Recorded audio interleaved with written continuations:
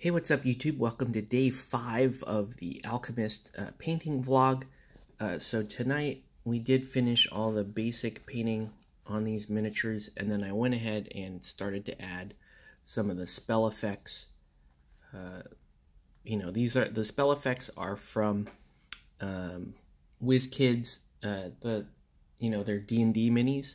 And a lot of those D and D minis come with like clear plastic spell effects, and what I did was basically just, you know, uh, did a, a, a, chop and replace, basically a kit bash, um, just to give the models specific spell effects. Now, there actually is an in-game purpose to these.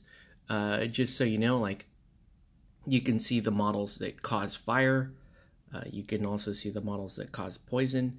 And then these models here that have kind of a blue-green uh, flame, they can actually cause both. So there's Midas there.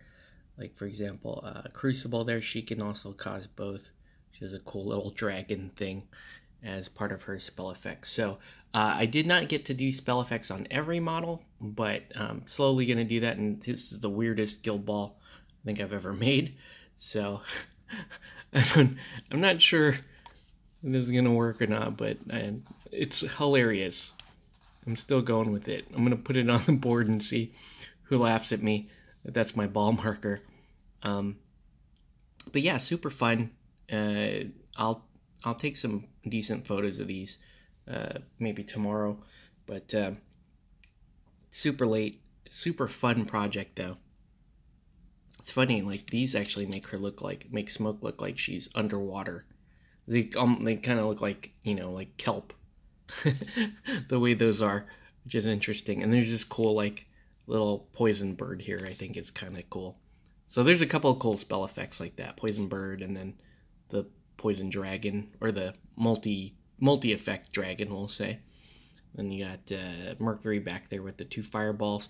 Uh, my um, vitriol, it's really just the her spell. I mean her uh, staff kind of has that like swirly spell effect on it. I couldn't find exactly what I wanted for her, but I wanted like I wanted that little ball on the end of her staff to have some sort of spell effect on it. So anyways, that is going to do it for this video.